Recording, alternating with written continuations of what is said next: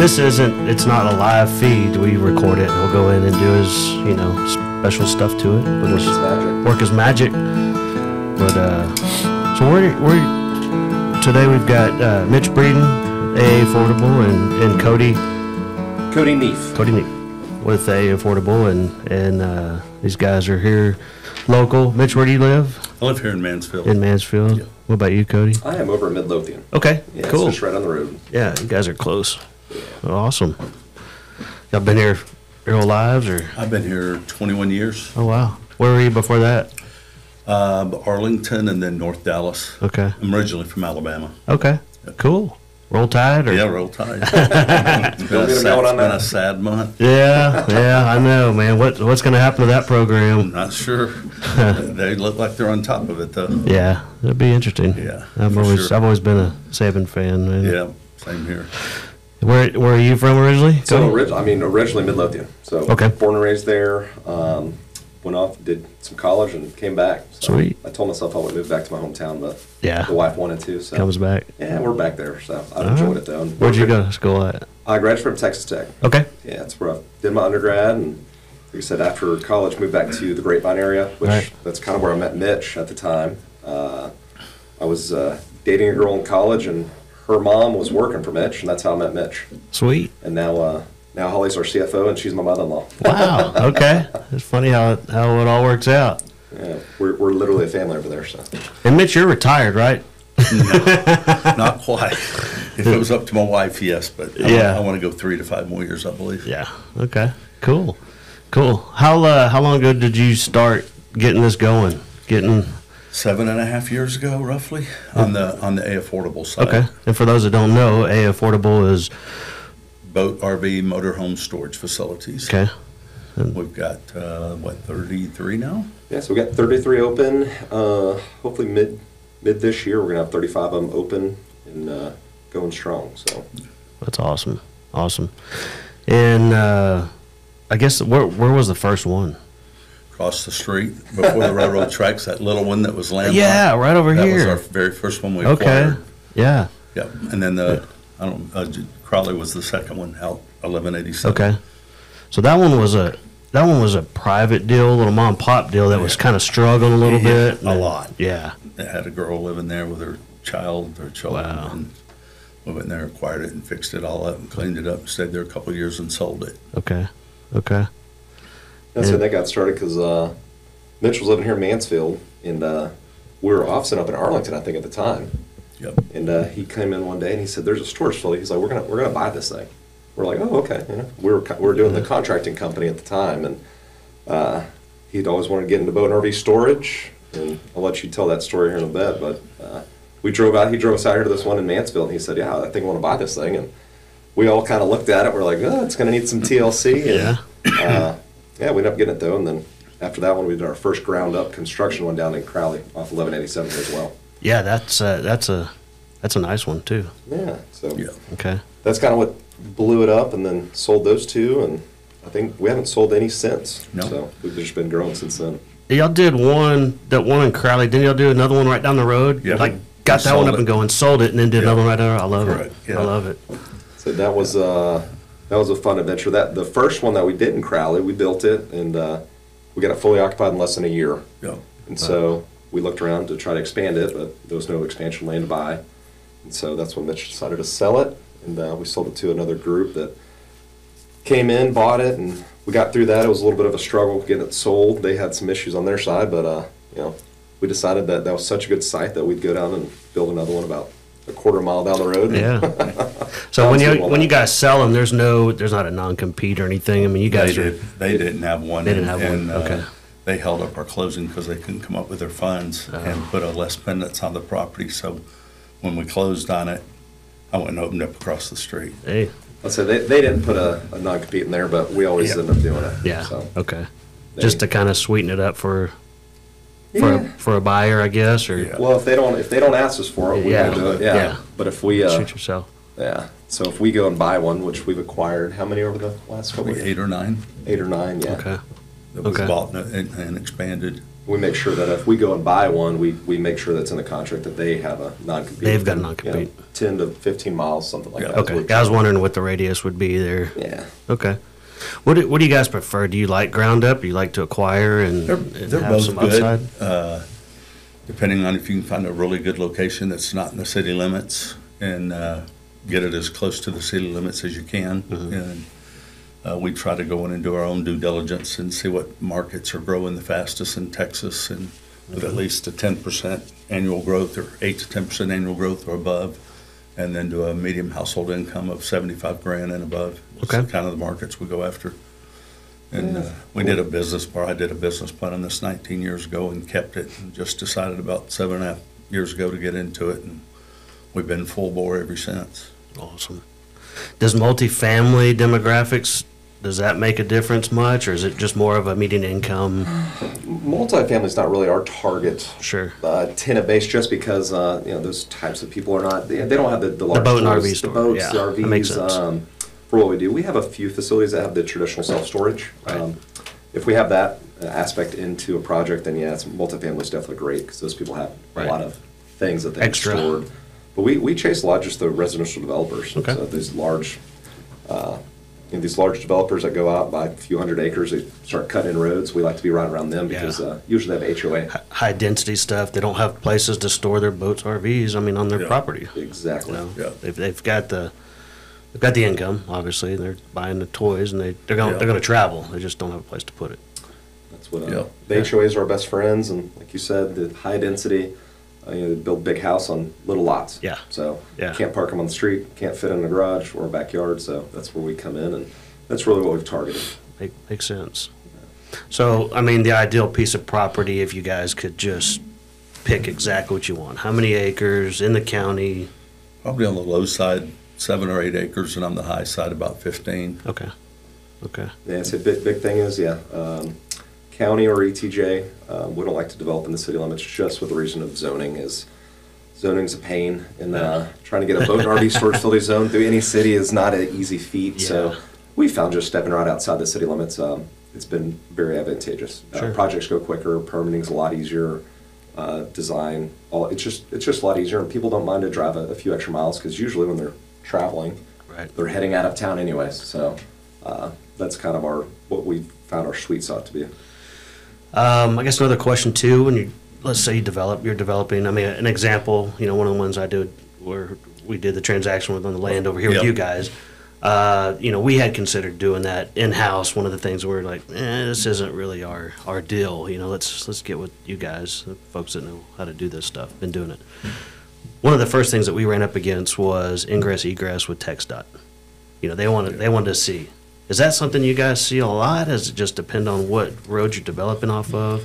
It definitely depends. So the biggest thing that uh, we go on when I go and talk to my civil engineer is, uh, you know, daily trips. And so every time we approach TxDOT, we say, look, this is long-term storage. This is not a high-volume business, so this is not going to have hundreds of cars coming each day. Um, I've had to get real creative with TxDOT. You know, we've showed them uh, a fully developed out storage facility. We'll show them uh, gate information. So we'll, we'll pull our gate entrance and exit uh, uh, reports and say, look, you know, this is a facility that has 600 units. There's only 20, 20 trips a day. Right. And so just proving all that up to them, it, it definitely helps. Uh, but it's, if you work with them, you just got to really Sure. yeah, work Play their game. They would love to see turn lanes and accel lanes Oh, yeah. and medians and all that, but uh, sometimes you just tell them, you know, it's it's impossible. You guys got a proven product that is, it works. Yeah. I mean, it's a, it's a, it's a, it's a pattern that has worked for you guys with the in and out. You, I can't argue with that. Yep. So that's the key. Is uh, same thing with TxDOT's always been. Um, it's been helpful having the civil engineer that can help with the daily usage, um, and then having a personal relationship with all the TechStot. You know, these each district has their own engineers, and be able to pick up the phone and talk through with them. Just pretty much cut through all the bureaucracy. of, You know, starting at the bottom, working your way all the way up. It's easier to start at the top. So what we Okay. found. So. Okay. Uh, your, the formula that you guys have come up with, you, I mean, you, you guys are into this long enough now that you've seen, okay, these, these demographics, these markets, we want to get to 50% occupancy roughly, and then look at Another phase. another phase or selling that particular product? We're, uh, we typically look for about sixty-five or seventy percent occupancy before we start phase two.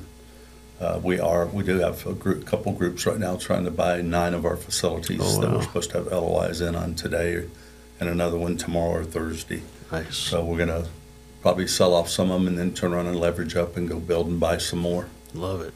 Love it. Uh, mostly just trying to stay Metroplex area and then. No, Okay. we're, we're, uh, throughout Texas, we're down in, in Bronzeville, San Marcos, Austin, uh, Georgetown, Liberty Hill. We got one in Alabama, which we'll probably put some more down there. Okay. In South Alabama, down on Gulf Shores and Orange Beach area, Nice. and maybe even into, uh, North Florida.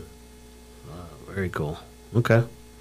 I see. I see the pattern there that you guys are tracking. It. Yeah, so we tracked down that 35 corridor. I mean, it's just Right. where all the houses are going. It's where all the people are moving. So Yep. you know, Texas has grown as much as it is, and I feel like every neighborhood I see going up now. It's like we talked about high density neighborhoods. So Opportunity. uh, that's why we kind of tracked 35, and then uh, Mitch really likes that southern Alabama uh, Sure. that area, and so do we. It's just lots of boats, lots of RVs, lots of people traveling there for Yeah. uh, you know playing, and so that's what we want to do do some over there too. Yep. That's a good hub, I Yep. guess, from there to go wherever. So. Yeah, all the way from here to South Alabama and maybe the Destin, Pensacola area Okay. in there. I told him I want to do it in Miami, but Yeah, you can't go south much out of Yeah, Miami. that's I can true. go. You can go little ways, but I told him I'd go manage that one. But yeah. we haven't quite got over there yet. Okay. So. Yeah, that'd be that'd be cool. That'd be cool. Well, awesome. Um, Clinton, you think of anything? Uh, this is, uh, this is, it- this is interesting to me. And it, it's good stuff, man. I- I think I have to go buy some land and, Yeah. Well, that's what we've seen. I mean, just uh, since we started this, I think two, 2017 was when we bought the one right across the street here. Mhm. And uh, then the one down on Crowley, the first one we did was probably 2018 sometime. Yeah. I mean, the, the exponential growth of both of these storage facilities, the number of facilities that we've seen open since then Yeah. is, uh, it's shocking. I mean, it really is, uh, TSSA, uh, I mean, the, you know, they picked up on it. It was a, it was a hot topic for a while, for a few years. You know, a lot of people, COVID was our, COVID was a huge. COVID was just explosive for us. I mean, Yeah. we saw growth like no, like Sure. never before on people buying. Couldn't do anything stores. except really Yeah. go to parks and or rec. and- yep. Yeah. And so we saw a lot of uh, facilities pop up, and you know, we we thought about we're like, man, we, we- we started this right time. We got started right before all that pandemic, and um, so we like to think that we're the you know, kind of the leader in it as far as you Yeah. know, facility wise. I think square footage wise, we actually just got a report yesterday. The TSSA emailed us that we're the 35th largest operator in the country as far as square footage goes now. That blows me away because I would expect you guys to be way higher than that. But I guess you look at U-Haul and. U-Haul and those guys, and and I mean we're only in, te- you know, one state technically Sure. two. We have one small facility over in Alabama, but What do we got, a- just shy of 5 million square feet? something like that, and about 4,500 tenants. So hopefully between now and the end of next year, we'll pretty much double or do a 70 to 80% increase. and but I that's bet as far as percentage growth wise, I bet you guys are killing it. I say it's yeah. I mean, there's just We're seeing the average growth on our facilities on our product was a couple years ago. Where it was really high. I mean, we're seeing you know four to five percent occupancy increase a month at a facility, which is I think the industry average was one and a half. Yeah. okay. Yeah, and we're, uh, our properties are real large. We're anywhere from nine acres up to 33 acres. So we've got about uh, just shy of 700 acres of commercial land. Wow. Typical amenities you guys offer. Um, if you're going to go put your fifth wheel in, I mean, We do electricity, dump station, where they can dump their gray water, and um, Yeah, free air machine as well. air- free air machine. okay, So the big thing too is uh, when we first started this is we found out uh, having electrical hookups in each bay. Uh, the first one we built, we didn't do any, Right. and we thought, well, maybe we should add that. We had a lot of uh, tenants requesting it, so we put power in one building, and that building filled up in a month. okay, So we said, well, hey, every facility from now on, now every Just every slot has power in it, whether they use it or not. It's there for their Okay. you know, convenience. It's included in the rent as well. So are they like 20, 30 amp hookups or 20 amps. 110s? Okay, Yeah, it's a 20 amp. Um, and that's a lot of it's just for charging the Sure. batteries. Um, we don't get them quiet enough to live there. 'cause, Yeah. Uh, if we did, they probably would try. yeah, yeah, Uh, I, I, hear, I hear you. we- We've only had to run a few people off out of Yeah. the thousands of tenants we've had, but That's uh, not bad. it's going to happen. But that, um, like Mitch mentioned, uh, dump station for the gray water. So if they come back from a trip and they've got a little excess uh, waste that they want to dump, we offer that.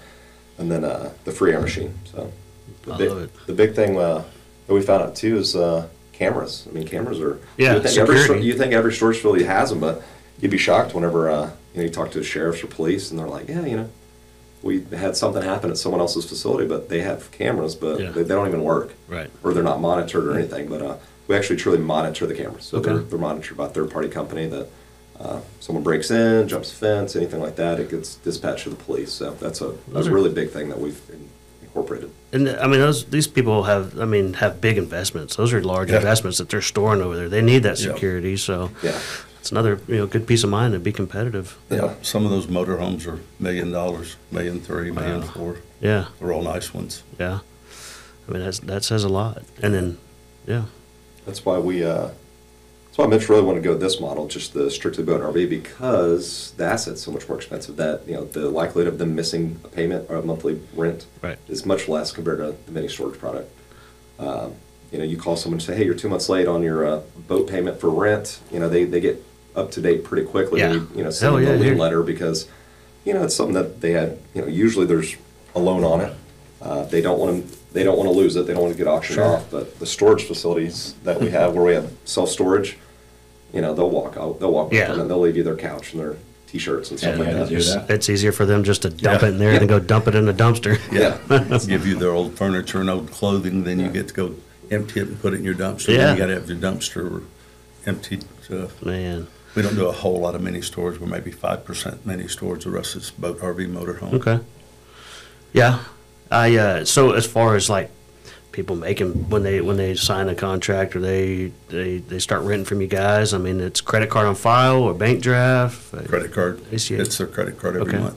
And so Okay. they, they can do both uh, ACH or credit card. Um, we push very heavily not to do uh, written checks anymore. Yeah. If someone's just completely adamant Does about anybody it, do checks it. anymore? Very few. The only the only checks we we still get is uh, from a facility that we had purchased. yeah, And they've been there for years, and Just- they that's just the way they're gonna that's be. the way they operate. Creature habits. old school. Any What's a- what's a any new check? facility though, What's a check? Yeah, any brand new facility that we, we require a credit card to be on file, and a lot of that's for, you know, purposes of, uh, you know, if they damage a building or something like that, that we have some sort of, you know, payment option on file. I know. Uh, I mean, old school ways are like, we'll get these people, we'll sign a lease, and you can write a check, and hey, you know what? If they don't send a check, then I'm gonna hit them for a late fee. Well, I mean, if you're doing ACH credit cards, there's probably not a whole lot of late fees you see. I would think. on Well, or- You'd be, so a lot of people, just because they have a credit card on file, they don't want the automatic withdrawal. Okay. So, you know, people move money around their accounts, but, um, I mean, late fees are uh, not a bad thing. We actually No. enjoy them. I mean, it's, it's an easy way to make a little extra revenue off each tenant, and um, a lot of it is just because they'll, you know, they'll have a, a credit card on file and say uh, something happens. They, they credit uh, wallet gets stolen, so they cancel all their cards. That's one on file. So the next month rent comes up, it pings it. You know, it's not good anymore. So then we got to call them and say, hey, you know, you're a month late because your credit card was bad. And Yeah. so they say, well, you know, sorry, I had to get a get a new one to replace it. And so that's you know, small late fees add up five to ten bucks. You know, each time that happens, and then same thing. Some people just they like to call in and make their payment. They like to call and say, hey, run it today. yeah, so Uh, they got paid stuff. So. Yeah, makes sense. Um, Okay, very cool. So over, so you said you got, uh, started around the pandemic, the start of the pandemic, so within just a matter of a few years, you're number thirty-five? In seven, about seven years, seven and a half years. You know, That's pretty awesome. Yeah, the, the first two, one, the first one was bought in 2017, oh no, and then the first one was built in 2018. So I mean, the the real growth really started in like 2019, like that Yeah. year before the pandemic, the year before 2020. Next year will be number fifteen Yeah, or ten. yeah. I I, I firmly believe y'all would be top ten easy. Well, with We're the gonna growth. try. That's our goal. That's big business, but I, I I feel like you guys are the one that set the precedence. I mean, I don't do much. I do stuff outside of Texas for our medical company, um, but it's mostly just office stuff. You know, I don't get to see much of the retail or Yeah. Uh, industrial stuff or warehousing as I do here. And everywhere I go around here that I do that other stuff, I, all I see is a affordable. I was like, man, that's awesome. Look at We- these And guys. this model, This is cool. we definitely uh, got jump started before anybody else. There's some moms and pops out there trying to catch up with us. There's this one other group trying to catch up with us. Uh, But we're still at this point, I think the leader in this model with the boat RV motorhome. You Yeah. talking about in Texas or the South or? Just in general. In general. Yeah, I'd say the, the whole nation. I mean, the, most of the largest operators for boat and RV storage facilities are down here in the southern region. I mean, Yeah. it's where, uh, it's where The weather's people- good. There's not a lot of salt for are them to screw up stuff. Yeah, people are traveling down from the north, so they'll come down here and, and store it and stuff. But Well, you guys have an awesome looking brand. I mean, it's that red and black, red, black, and white stands out. I mean, and it's clean. It's just beautiful look when you drive by. It's like, why would you not want to put your stuff here? And our nice big billboard yeah, sign. so Yeah. Mitch always thought the red was for Alabama, so that's why we went. Well, I, the red. yeah, Red, red and gray. red and gray. Yeah. I like to think it was Texas Tech. That's where I went. So we Hey, settled it on red. Right? It worked for Yeah. people, but- Red, red is common for sure. There. Yeah, it's a big thing though. Our, our logo was designed by our, uh, sorry, kind of our marketing website design girl. We sat down one day and we said, you know, we need a true, like, we need a nice logo. And we sat there for about two or three days and she sent us a bunch of options and this is what kind of stuck, but it's been, it's been. Is it is there a significance bet- behind the AA affordable? Is there? Now, that's something I thought of, uh, I think you can look back at the old, ago the with old the- days of the, you know. li- li- made a list of names and Okay. came up with that one, like that one the best, plus wanted to put it with an A, Yeah. beginning with an A, so. And there's Say I- already, there's already an, an affordable storage. Okay. There's already a guy that had that Put name. an A, then you're in So front we'll of put an A. affordable. Yep. Ah, so if you, if everybody got phone books anymore, I guess we're ahead of them, but. I know my name because it's A A A A Ron. You know, Yeah. it's I get to get in front of a lot of Yeah. different names and it bumps it Absolutely. up. So Yeah. hey, affordable. You you That's plug what- in self that's what we storage did, or yeah. plug in, plug in boat and RV storage, you're going to be there top. And that's kind of what what we wanted to build is uh, to be known as the boat and RV storage facility operator. We want if someone has a boat or RV, they know about us. That we want that business. Um, we don't want to compete with the climate controlled, you know, five story climate controlled guys. We just want to be the people that are known. Hey, if you got a boat or RV, you store it the affordable. It's just it's an industry standard, and um, that's what we're really really going for. Yeah, So, I agree. Anything else is subpar, and you're just taking that risk. Well, that's what we want. Uh, you know, we've kind of hit the point of um, we've talked to people. You know, we'll go to TSSA shows or whatever, and uh, you know, we'll we'll put up a coming soon sign. We'll buy a piece of property and put up a coming soon sign. And Yeah, two months later, we'll talk to them like, "Man, I was thinking about doing a boat and RV in you know that town." Yeah. And then they're like, "We saw y'all were coming in, so we decided Oh, not yeah, to." we're out. So I mean, and that you know that that definitely helps. Sure. Um, being able to have that presence and the size to say, hey, they're going to build a, a very large, very nice facility. Right. So you know, it kind of keeps competition kind of at bay a little bit. Obviously, plenty of room for competition out there. It's a big state, but um, Do you guys get? And we may have already uh, kind of addressed this. Is there anybody that calls in that has a mom and pop that actually calls and say, "Hey, we're we're ready to retire. We're we're getting close to. We're done. We don't want to mess with this. You guys are huge. You're coming into this market. Would you guys be interested in, in us?" We haven't had anybody come to us like that yet. Uh, we go out and cold call on some of those mom and pops, which is how we acquired our eight or nine. I say we None of them were on the market, Yeah. so. everyone that we acquired was uh, just uh, Mitch and I looking, and we found it. We're like, that's a great facility. It looks good. Looks like you know a product that we'd like to own, and so we'll we'll cold call them, and Mitch will go down and try to work out a deal with them directly. Sure. Uh, keep keep the brokers out, uh, uninvolved. Um, we've seen uh, when you get the large brokerage houses involved that uh, you know they're you know they're trying to drive the price up and get the best money for their Yeah. client and you know for themselves. So. Um, it just seems to go a lot smoother if uh, there's no broker involved in, in buying and selling a mom and pop store. Absolutely. Well, you can keep it more, probably a little bit friendlier and say, Yeah. you know, by the way, if, if you don't really want to, you know, compete with us, it's gonna, it's, it's not gonna end well. Yeah. Yeah. In a nice way. Yeah. And a lot of Besides a broker going saying, if you don't want to sell for a good price, dude, guess what? They're gonna build You know? next to you. Yeah. Yeah. And so, I mean, that is a lot of it. We've, uh, it just happened that way. We have two facilities that we built right next door to another storage facility. It's, Okay. And it just purely happened that way. Yeah. Uh, the one that I'm mid-construction right now is uh, down in the Austin area, and it just worked out that way. That you know, those boat and RV storage facility. We actually called them first to see if they'd be interested in selling, and uh, they didn't have any interest. Nice people, but uh, we're like, man, there's a great piece of property right next door that's for sale. Yeah. And so we ended up pulling the trigger on it. Now our uh, our unit mix is a little different than what they're offering, and, and, and our unit mix we decided to go with was because of what they were offering. So they have uh, more of the covered canopies like we have next door here. Uh, so that one down there, we're doing a, a fully concreted uh, facility with fully enclosed units. So Okay. 14 foot tall roll-up door. Each individual space has their own own door. So kind of a, a different product. So that way, um, Is it a higher, is it a higher end product that, much higher end than a little bit Yeah. higher Yeah, rent, then, uh, right, too? Yeah, so the rent definitely is Sure. Um, you know, we're looking down there for a full enclosed unit. You're in your mid 300s a month. Okay.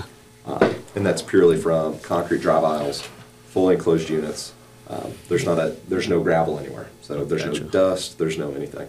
Does that come up a lot with customers? They come in, hey, do you got any concrete paved units? I'd really like to not put my million dollar RV sitting on con- on the base or, I don't think we've gotten much of that, but, Okay. but we are now building, everything we build is gonna be concrete or chip sealed. okay, Our last two, that one we just opened in Ovilla, North Waxahachie, it's all concrete, all fully enclosed, and it's already like twenty-two or twenty-three percent occupied in two months. wow, And then we're building one in New Braunfels right now that's about to open, Yeah, that's so- all concrete. okay, Yeah, we've seen there's a lot of the, the fully enclosed units. The unit mix has been uh, really interesting. We have, uh, I call them small businesses that, like a landscape company or, you know, uh, outdoor living space company that, you know, they don't need a storefront, but they have trucks, they have trailers, they have product. sure, And so they don't want to just have their product sitting on the trailer outside getting rained on and all the elements, but so they'll, they'll rent a fully enclosed unit from us and that way they keep their tools in there. So they'll bring their tool chest they can secure it, lock it all up. their stuff they can the guys can show up every day pick it up haul it and they can leave their trucks inside and then whenever they get there at night they just throw it all in there shut the door lock it and forget about it it's, Done. it's literally like an extra garage Yeah, it's their shop. It's a- it's a shop for small them to shop. store and, exactly How and big, so are, how big are those? uh they're it's like the one that we just did they're f- up to 50 foot in depth and they're 14 foot wide so 12 foot wide door so it's you know a little under 800 square foot on each one of these which is a, a pretty substantial size Yeah. Uh, even sometimes when we build these buildings, I'll have people that approach us during mid-construction. They'll say, "I want four of them," and so we'll just build the building. We'll take the demising walls out, of them. okay, and that way they have a just Big square a- a shop, big, big square rectangle shop with four bays, and Okay. you know they're they're not paying that high-end, um, you know, flex space rent where you know you got your bathrooms, your offices, all that. They're they're just like, look, we need a space. Um, you know, the guys come, like I said, pick up the trucks in the morning. They head out, might stop by QuikTrip or something Sure. go to the bathroom, get the breakfast, and they go to work all day, and then guess what? They come back at the end of the day and throw it all in there, and that's it. that works out well. I know this particular one over here, Mitch, uh, we talked before, you got kind of like a, a, a car storage with Yeah. a, a little shop and a. Yeah, man cave, yeah. Man cave in there. I mean, that's a pretty neat Yeah. setup. What's something like that rent for? And do y'all do those often or is this kind It's of about like a, two grand, twenty-two hundred a month. okay. And how many cars can you put in there? Six in that one. Okay. It's got uh, two bays that are two cars deep and then two single-car bays, so six Okay. total. And a little man cave, it's got a bar, and a Bar, little kitchenette. Big It screen. kind of looks like this, actually. Yeah. Yeah, yeah, I saw the pictures of it. It's kind of, It's remind me nice. of, Turned out real nice. I mean, that's pretty sweet. Kind of Yes. give you a, You know, we didn't. Uh, that was done for Mitch. You know, he keeps his personal stuff Sure. in there, but uh, you know, it's kind of the same model. There's there's a couple guys out there doing that. Uh, what's I forget? It's like auto garages of Texas. garage. Yeah, Yeah. kind of the same model. I think they're doing really well with that. It's Okay. uh, I I hear good buddy things about owns it. one of those. Yeah. But yeah, so there's somebody out there doing that. That was more done for just personal use, but sure. Those Yeah, are we- costly too. we see a lot of people using uh, our fully enclosed units, kind of like that. Though. They'll Right. keep their car collection in there. Okay. And uh, they'll rent an extra unit to keep their, you know, tool chest. They'll go out there and work on their cars, you know, do whatever they do. I do I do a lot of industrial warehouse space. And honestly, I mean if I had 50,000 square foot of 1200 square foot spaces, it wouldn't be enough right now. Really? I mean it is probably 10 calls a week and it's guys that are wanting to be away from their house. They want they've got a couple few cars, they want a little shop, little man garage to go do something, you know. They're not necessarily wanting to pay a lot, you know. Yeah. They're wanting to pay you know thousand to fifteen hundred dollars a month, something like that, just to get away from their house to have something to go place to go tinker with. Yeah. Called the Tinker Garage. The tinker garages, yeah. So Well, if you need uh, a, a spot to put those people, we just built a couple of those buildings over in Midlothian. So, okay, yeah, they're, we've got them chopped up about 2,100 square foot spot. okay, And so they're the true flex, you know, big roll up doors. We're building up office, bathrooms, and stuff for them. So, what are those going to lease for? uh, about a dollar foot per month. That's Okay. 12 bucks a month, 12 Okay. bucks annually. Reasonable? Yeah, that's sure. we, you know, I tell people, hey, Triple the, net, aren't they? the more you rent, the the cheaper it gets. So, Cool. You know, each building's about 21,000 square foot, you know, chopped up into 10 spaces. So it's Okay. just shelled, and we get people to come in and want two spaces, one space, three, uh, all kinds of stuff. You know, just kind of whatever their imagination can, you know, figure out. So Very cool. Yeah, We kind of open. we kind of incorporated that into the storage. Kind of feels similar, and we kind of run it the same with, uh, you know, just people storing their stuff is what it is. Like I said, they need tinker garages. So. Yeah. Uh, All right. We can pretty much do whatever we want, so we, we're a general contractor as well, so if we wanna, A lot of in-house Yeah. stuff. yeah. I know that you guys watching y'all build this. I mean, it was awesome. Yeah. So man, these guys got steel erectors that I've never seen. I mean, it, it's pretty cool. See, they've that gotten pretty good at it. That one was, yeah, that was fun. We've got, uh, we've got a little bit of extra land for some expansion if we want to. Yep. Um, we've got a, well, you know, because you were the, the Yeah. listing on it, but uh, we've got that flood in the back that I'm not sure what we'll ever do with it. We got the the guy. I on guess you could always do some outside well, storage the guy, if yeah, anybody the next guy on the door. next door, he approached us, but I was like, oh, he's just keeps building back there. Yeah. He's got stuff as far as I can see. As far as Yeah, that guy did. I had that property under contract. Oh, really? It was a personal deal. Mhm. Me and another uh, partner of mine, we are going to do exactly that same thing. And some other stuff had happened, and then the other, the guy who got it now, he did exactly Yeah. what we were planning on doing. I was like, Yeah. oh man, it's just one of those things. Yeah. And That's what, What uh, happens? Him being next door to us, and so our facilities, we, we try not to. Uh, we'll make uh, exceptions every now and then, but we, we try to keep uh, eighteen wheelers, any type of large heavy haul stuff out of facilities, just because it's you got your RV tenants and you got your industrial Yeah. tenants, and for some reason RVers don't enjoy being at the same facilities. Um, Wear and tear on the roads. a lot it's of wear and tear. Cutting across. I mean, they're they're messing up buildings. I mean, that's Yeah. yeah, that's not. So that's why we figured, um, you know, he can keep all that business, and we'll keep the RVers, and you know, both do well because we've sent a few people over to him just because, Sure. yeah, we, we just we're not built for these you know eighteen wheelers and their trailers and all that stuff. Works Actually, out good. He actually came and met with us a couple times. Uh, Yeah. That first one that we acquired Yeah. right across here, he came and met us about investing with us in the storage business. Wow. But- That's a good complementary business. I mean, Yeah. heck. That's what we told him. We said you can buy the floodplain back there and he can keep building, but Yeah. I don't know whatever happened to that. But yeah, so Or ground lease it to him. Yeah, it's a thought. Yeah. Yeah. You don't have to split it up or replat or do anything Yeah. like that. good point. Well, anything else you guys can think of? I really appreciate it. Not that I can think of. We appreciate you having Yeah. us. and Yeah, beautiful studio, guys. Yeah, Yeah. this is amazing. We'll uh, appreciate y'all having us on. Yeah. We'll have to we'll have to do this again for sure. I might have to go get a loan right now. Yeah. You ready? Start following you guys. Yeah. yeah. Good stuff. All right. Very cool. Well, let's uh yeah we'll try to do this again here sometime in the future. And Sure. See if we can't bump that 35, you know, And- top and 35 fun, yeah. Hopefully we'll be in the top 15 here in the I- next I- 18 or 20 months. I bet I bet you guys will easily. So We're going to get after it. cool. Well, congrats and look Thank you, forward to it. Yeah, yes, thank sir. y'all. We'll talk to y'all soon. Appreciate it. Sounds good. Appreciate it. bye-bye. Bye-bye.